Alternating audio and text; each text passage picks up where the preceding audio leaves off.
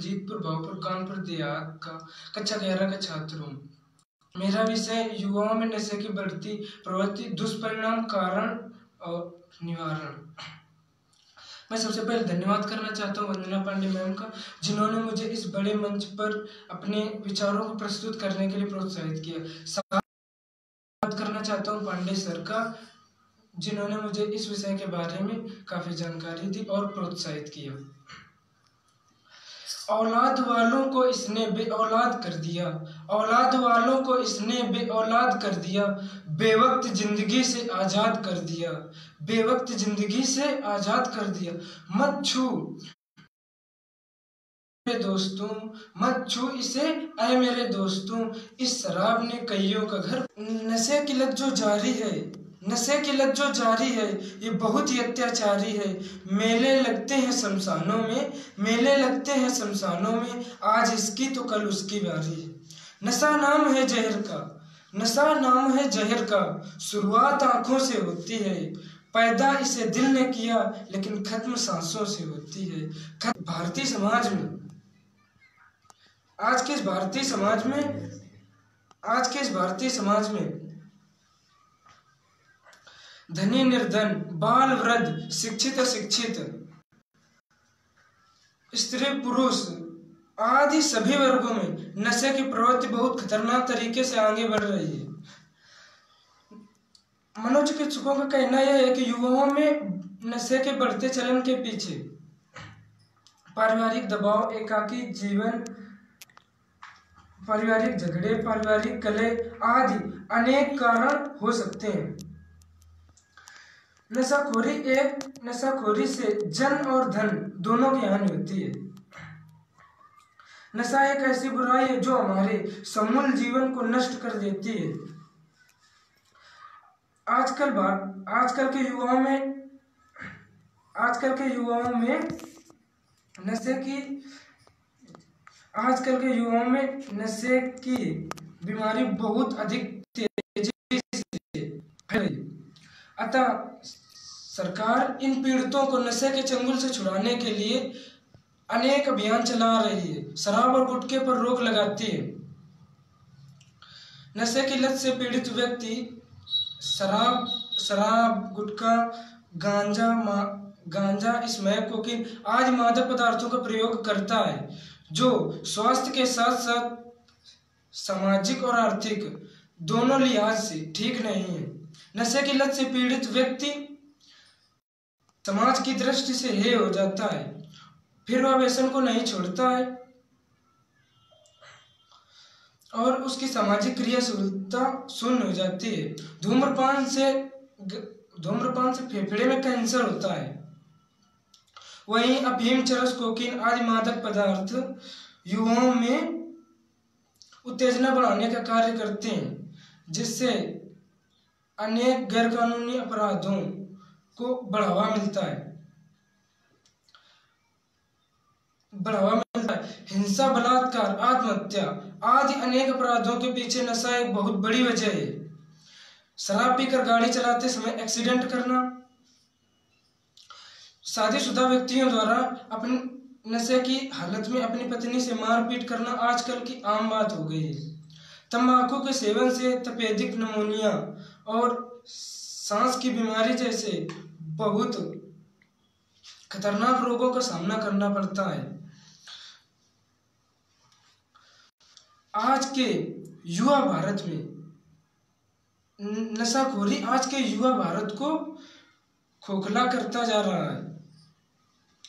आज के वर्तमान युग में भारत, वर्तमान युग में भारत में युवाओं की संख्या सबसे अधिक है। वर्तमान समय में पैंसठ भारत की पैंसठ प्रतिशत जनसंख्या पैंतीस वर्ष से कम उम्र की है, जो किसी भी देश की प्रगति के लिए महत्वपूर्ण है। और इसी युवा पीढ़ी के बलबूते पर भारत 2020 तक दुनिया की आर्थिक महाशक्ति बनना चाहता है, लेकिन जिस युवा पीढ़ी के बलबूते पर भारत दुनिया की आर्थिक महाशक्ति बनने बनने का सपना सोच रहा है, या प्रगतिशील होने का दम भर रहा है। उस युवा पीढ़ी में नशे की सेन इस प्रकार लग चुकी है कि वह दिन पर दिन युवाओं को अपने, अपना शिकार बना बना रही है और उनमें दिन पर दिन बहुत तेज़ी से फैल रही है। नशाखोरी युवाओं के लिए मौज मस्ती का नहीं, अपितु आज के युवा वर्ग के लिए आवश्यकता का विषय बन गया। नशे की लत जो जारी है, ये बहुत ही अत्याचारी है। मेले लगते हैं शमशानों में, मेले लगते हैं शमशानों में। आज इसकी तो कल उसकी बारी है। अब मैं आपको नशाखोरी के कारण बताना चाहता हूँ कि किन कारणों से युवाओं में नशाखोरी की लत पैदा होने लगी। है परिवार से उचित स्नेह न मिलना। पारिवारिक दबाव, कुंठा अवसाद आदि की अधिकता सिनेमा दूरदर्शन, विदेशी चैनलों एवं इंटरनेट के अश्लील चैनलों का अत्यधिक प्रयोग। अब मैं आपको नशाखोरी के दुष्परिणाम बताना चाहता हूँ। नशाखोरी एक ऐसी सामाजिक बुराई है। नशाखोरी जैसी सामाजिक बुराई से जहाँ समाज में अनेक प्रकार की बुराइयाँ जन्म लेती हैं, वहीं अपराध बढ़ते हैं और गैरकानूनी हरकतों को बढ़ावा मिलता है। अतः हमारा हमारा ये मानना है कि अतः हमारा ये मानना है कि राज्य शक्तिशाली राज्य में शक्तिशाली राज्य में राज्य सरकार को अपने प्रदेश में नशाबंदी लग, लगानी चाहिए।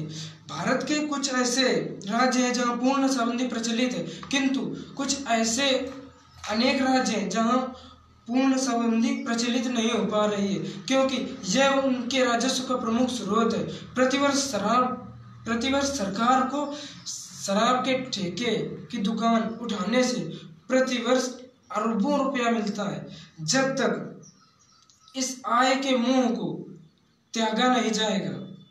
तब तक मेरा ये मानना है कि नशाबंदी पूर्ण रूप से प्रचलित नहीं हो पाएगी। प्रचलित नहीं हो पाएगी। उम्मीद है ना कोई आशा है? उम्मीद है ना कोई आशा है? अब चारों ओर निराशा है। उम्मीद है ना कोई आशा है? अब चारों ओर निराशा है। बर्बाद तुम्हें ये कर देगा, बर्बाद तुम्हें ये कर देगा। नशे की यही परिभाषा है।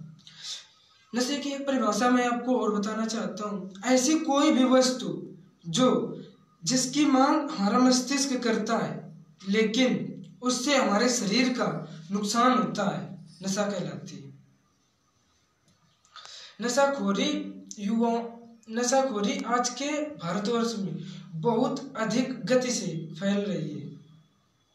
दिन प्रतिदिन शहरी और ग्रामीण क्षेत्रों में नशे की लत इतने खतरनाक ढंग से आगे बढ़ रही है कि नशे के आदि हो चुके व्यक्ति, नशे के आदि हो चुके व्यक्ति इसे पाने के लिए किसी भी हद तक जा पहुँचते हैं, जिससे सामाजिक पारिवारिक समस्याओं के साथ साथ, सामाजिक पारिवारिक समस्याओं के साथ साथ चोरी, छेड़छाड़ विचार आदि की समस्याएँ उत्पन्न होती हैं। आदि की समस्याएँ उत्पन्न होती हैं। शहरी और ग्रामीण क्षेत्रों में गुटखा, पान मसाला, धूम्रपान, शराब की दुकानें सहजता और सुगमता से उपलब्ध हो जाती है। ग्रामीण स्तर पर महुए के साथ अन्य रसायनों के मिश्रण से तैयार की गई देसी शराब। सस्ती और सुगमता से